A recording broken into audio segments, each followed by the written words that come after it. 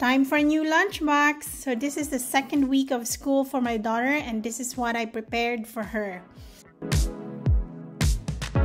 I made some garlic rice balls and then I added a couple wedges of oranges because she likes oranges right now. It's also good to balance out the taste of the salmon, which is the main dish.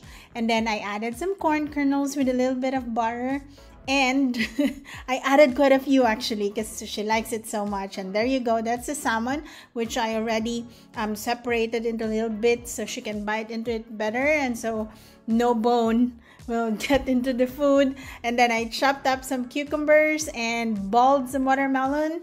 And then I added her spoon and fork and put it inside the container the little cute carrot thing over there.